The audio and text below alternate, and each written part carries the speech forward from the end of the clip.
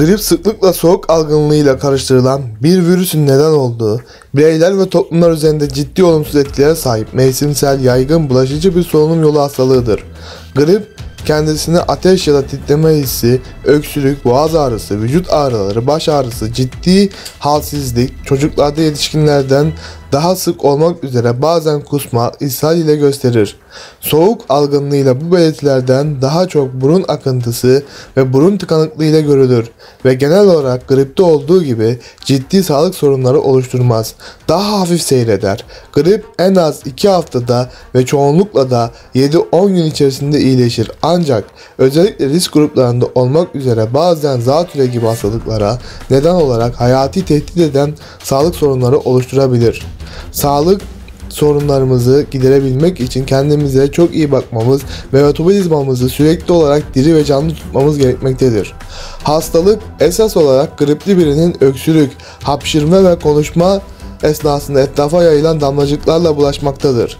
İşte size bilim dünyası tarafından desteklenen grip için doğal çözümler. 1. Bal Dünya Sağlık Örgütü tarafından öksürük kesici olarak tavsiye edilmektedir. Son çalışmalar balın öksürük ilaçlarından daha iyi ve etkili bir öksürük giderici olduğunu göstermektedir. Bu nedenle öksürüğün eşlik ettiği grip ve nezle bir bardak ılık, sıcak değil, süte bir tatlı kaşığı bal katıp içmenizi öneririm. Böylelikle balın sadece öksürüğü hafifletici etkisinden değil, antioksidan ve mikropları öldürücü etkisinden de faydalanmış olursunuz. 1 yaş altındaki bebeklere bal verilmemelidir. Bal ve limon karışımı da oldukça etkilidir. 1 bardak ılık suya 1 tam limonu sıkın. 5 kaşık da bal ilave edin, karıştırın ve için. 2. Soğan suyu. Soğan kuvvetli bir ilaç gibidir. Soğan suyunu tıkalı burun deliklerini açmak için ve iltihabı gidermek için kullanabilirsiniz. Bir damla soğan suyunu burun deliklerinize damlatmanız yeterli olacaktır. Ayrıca soğanın suyu öksürük gidericidir. Soğanın suyunu için. Tıkalı burnunu açmanın diğer bir yolu da tuzlu sudur. Tuzlu suyu burnunuza çekin ve rahat edin. Balgam söktürücü olarak cevizin ortasındaki yaprak gibi kısmı biriktirin ve onları bir demlikte kaynatıp suyunu çay gibi için. Çok etkili bir balgam söktürücüdür. 3. Nane limon.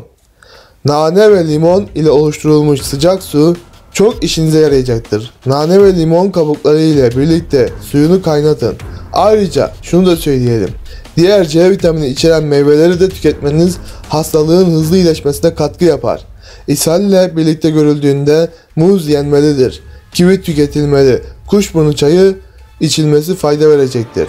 Meyvelerin kabuklarını atmayın ve meyve kabuklarını kaynatarak için. 4. Zencefil.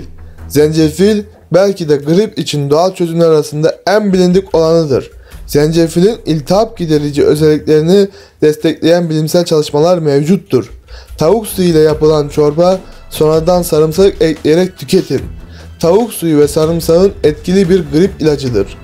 Elma, bağışıklık sistemini güçlendiren elmayı isterseniz taze, isterseniz limon ve zencefil ile karıştırarak çay yaparak kullanabilirsiniz. Elma, limon ve portakal kabuklarını kaynatıp içine limon sıkıp portakal suyu ekleyip üzerine zencefil ekleyerek etkili bir çay oluşturabilirsiniz. Ayrıca grip geçirdiğinizde belirtileriniz ağırlaşırsa nefes darlığı, göğüs ağrısı, bilinç bulanıklığı, yüksek ateş, öksürük gibi belirtilerin ortaya çıkması durumunda bir hekime başvurun ve tavsiyelerine göre gerekli ilaçları kullanın. Antibiyotikler gibi tedavi etmezler. Bu nedenle hekim tavsiyesi dışında antibiyotik kullanmayın. Grip virüslerin neden olduğu bir hastalıktır. Antibiyotik virüsleri öldürmez. Antibiyotik ancak bakterileri öldürür. Bakterilerin neden olduğu hastalıklar da antibiyotik kullanılır ve aşırı antibiyotik kullanımından ötürü birçok bakteri türü antibiyotiğe karşı daha dirençli hale gelmiştir. Yani aşırı antibiyotik kullanımından dolayı bakteriler buna karşı bir önlem alıyor ve artık antibiyotikler de bakterileri öldürmeye yetmiyor. O yüzden bilinçsiz antibiyotik ve ilaç tüketmeyin. Doğal yöntemler her zaman etkilidir. Doktora gidin, doktorunuzla görüşün. Eğer hastanızın ilaç almadan geçebileceğine dair bilgi alırsanız ilaç kullanmayı tercih etmeyin. Doğal yollara başvurun. Bu sizin vücut direncinizi daha çok güçlendirecektir. Ve daha zor durumlara düştüğünüzde ilaç tedavisine vücudunuzun daha hızlı tepki vermesini sağlayacaktır. Unutmayın ki kimyasal ilaçlar karaciğerde birikmeye neden olur ve her ilacın bir yan etkisi mevcuttur. Bu doğal ilaçlarda daha azdır. O yüzden doğal ilaçlara başvurmanızı öneri- öneriyorum. Kendinize iyi bakın. Hayırlı zamanlar. Allah sağlıklı, mutlu, huzurlu ömürler versin.